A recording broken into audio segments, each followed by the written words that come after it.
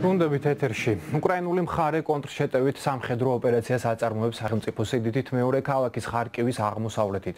სამხრეთის ფრონტის ხაზზე უკრაინული კონტრშეტევის ფონზე რუსულმა მხარემ დიდი რაოდენობით სამხედრო რესურსი სწორედ ხერსონის მიმართულებით გადაისროლა. სამხრეთის ფრონტის ხაზზე უკრაინული არმია განაგზობს რუსული სამხედრო მომარაგების ცენტრების სარაკეტო და საარტილერიო ძალებით დაბომბვას. ძლება ბრძოლები დონბასის რეგიონშიც, სადაც რუსულ არმიას ქალაქ ბახმუტის მიმართულებით მცირე წინსვლა აქვს. სტუმართან ერთად ვისაუბრებთ უკრაინაში მიმდინარე ომზე. ვახტანგ კაპანაძე ანალიტიკური ცენტრის ჯეოკეისის რჩეველი გვერდება ეთერში. მოგესალმებით ბატონო ვახტანგ. მადლობა რომ ხართ ჩვენთან ერთად.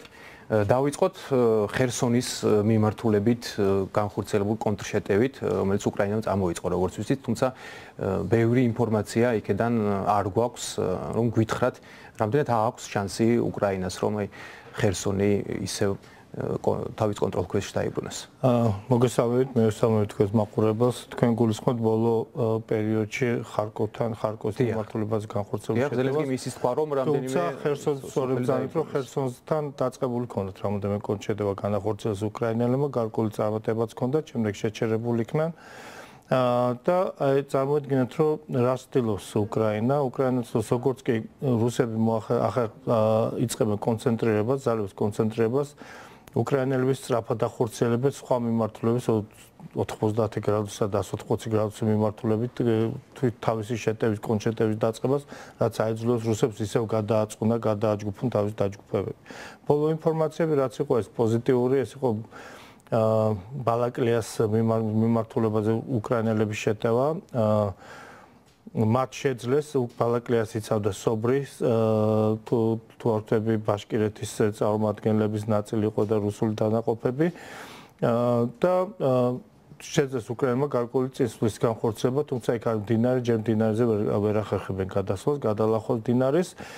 მაგრამ საერთო ოპერატიული თვალსაზრისით და ესეთი ცირედან იქ ეს რაიონი არის ძალიან მჭიდრო დასახლებული урბანიზებული რაიონი სადაც დასახლებულ პუნქტები ერთმანეთზეა მიბმული ასე რომ დასახელებების ჩამოთვლა თუ რამდენი იქნა დაკავებული ამდენ მნიშვნელოვანი არა რამდენიც ის სიღრმე რასაც თქვა ის ტაქტიკური სიღრმეზეა წარმატებული მიცოლთი ოპერატიული სიღრმეზე ესა უპირველეს ყოვლისა მნიშვნელოვანი. ჯერჯერობით ორივე მხარე ახორცებენ მცირე მასშტაბის ლოკალურ შეტევებს და კონტრშეტევებს და ჩამოყალიბდა სტაციონარული ეგრეთ წოდებული სტაციონარული ნაკლებად აი სატრანშე სატრანშეო ბრძოლების ტიპის დაპირისპირება გარკვეული სტაგნაცია არის ამ მიმართულებით, თუმცა ეს არ გამორიცხავს, რომ გარკვეული კონჩეტები ორი მხარე განახორციელებს. ფაქტი არის ის, რომ დღესდღეობით რუსეთმა ფაქტურად ამოწვა თავის შეტევითი პოტენციალი ამ მომენტისათვის ხოლო უკრაინას ჯერ არ გააჩნია ის პოტენციალი, რომელთაც ის შეძლებს ფართო მასშტაბიანი კონცერტების განხორციელებას. აი რა არის საჭირო? აი თუნდაც აი ლენდლიზზე რო ვისაუბროთ, როდის ამოქმედება უკვე ფართო მასშტაბიანი ეს პროგრამა და როდის მიეწოდება შეიარაღება, რომელიც გათვალისწინებული ამ პროგრამით? იყო მოსაზრება, თუ მეცვენ ხრობოდი და ასეთი რა თქვა, ექსპერტებში იყო მოსაზრება, რომ აგვისტოს ბოლოსთვის გამოჩნდებოდა უკვე გარკვეული გარდატეხის ნიშნები. გარდ ზოგიერთ ექსპერტი გარდატეხასაც კი იძახდა, ნუ მე არ მასარო თანხმები ჯერ საუბარობ მხოლოდ ნიშნები. ეს ნიშნები არის ის, რომ რუსები ვეღარ ახერხებენ წინსვლას, ბახმუტთან არიან ხო გაჩერებულები, უკვე მე რამდენი თვია როცა ბახმუტი არც კი არის თავარი თავდაცვის რაიონი იმ ბაში დონბაში. ამ დროს კენიგსბერგი იქნა ორ დღეში აღებული რუსოფი. შეიარაღების პრობლემა აქვს ბატონო ვახტანგ რუსეთს, აი გეჩ ჩრდილოეთ კორეასთან შეიძლება ვაწარმოებები და მათგან იყიდონ იარაღი. რესურსები, რესურსები ელევა, რუსეთს ოღონდ ელევა ზუსტი და თანამედროვე თაობის იარაღის. თორე მას გააჩნია ძალიან დიდი რესურსი საბჭოთა კავშირის დროიდან დარჩენილი აღჭურვილობის.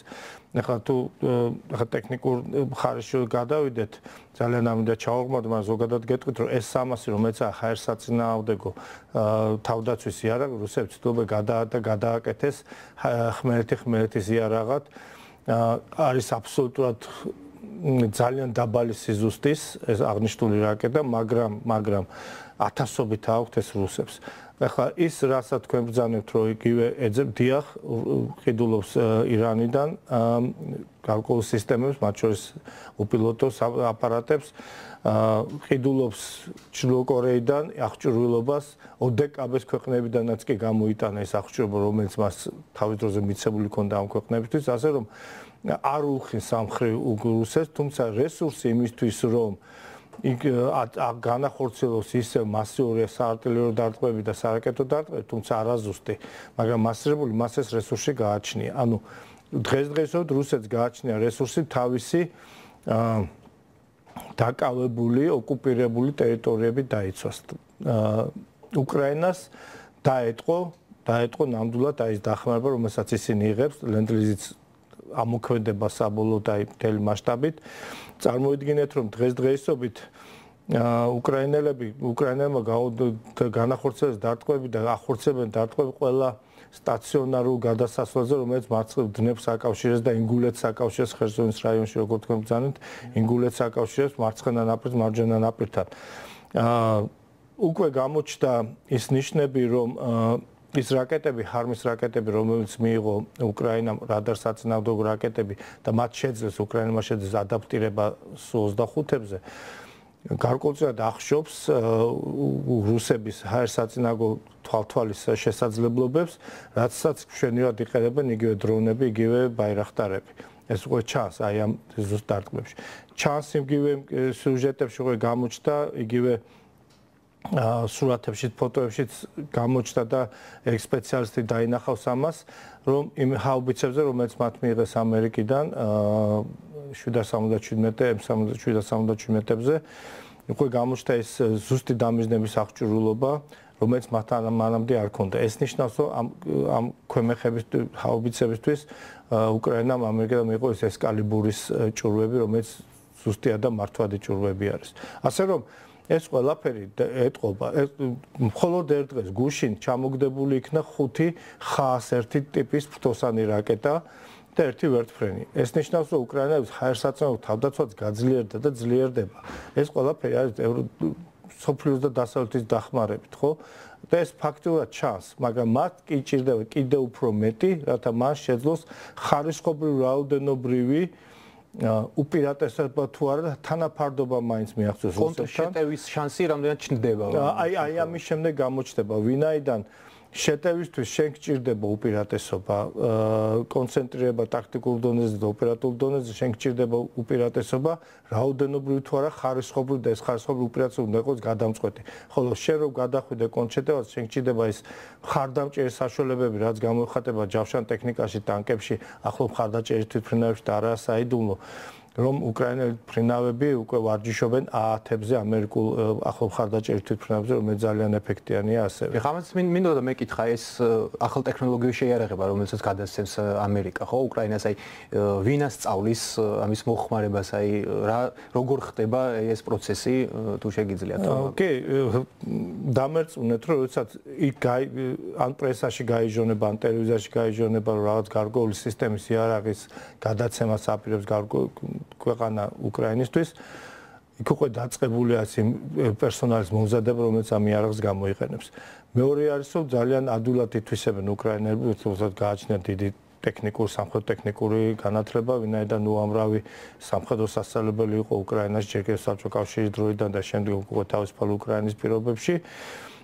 ძალიან სწრაფად ითვისებენ ამ იარაღს და ბრიტანეთში მიმდინარეობს სწავლება ამერიკაში მიმდინარეობს სწავლება, პოლონეთში მიმდინარეობს სწავლება და როდესაც უკვე ისმის რომ ეს იარაღის მიწოდება დაიწყება, ჩათვალოთ რომ ნაწილობრივ უკვე მომზადებული არის პერსონალი, ვინც აი ამ მიიღებს და ვინც ამ იარაღს გამოიყენებს.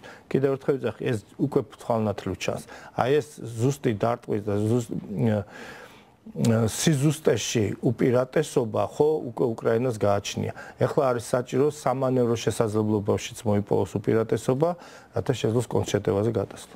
ბოლოს მინდა ზაპოროჟიის ატომურ ელექტროსადგურზეც კითხოთ ბატონო ვახტანგ, გაირო მოუწოდა არაერთხელ ორივე მხარეს რომ დემილიტარიზაცია მოხდეს იმ ტერიტორიის. როგორ ფიქრობთ, დათმობს რუსეთი იმ ტერიტორიას და გაიყვანს ჯარს ან დასაშლებია?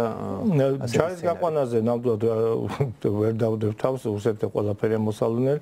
ფაქტი არის ის, რომ ზაპოროჟიეს ატომური სადგური ისევე ისეთივე ზეწოლის იარაღად არის გადაქცეული როგორც სამთრის მოახლოება და ენერგო რესურსების ენერგო საშუალებების მიწოდება სოფლიოსთვის თუნდაც უკრაინისთვის.